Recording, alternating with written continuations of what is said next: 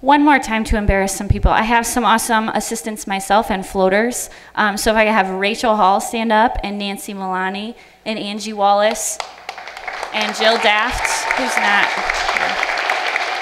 and Jill Daft in the back. So we couldn't do it without all of you guys. Um, thank you for trusting us with your kids. We're gonna have an awesome, an awesome year learning about um, the superheroes in the Bible, Jesus, our superhero, and how we can too be a superhero for God. So thank you.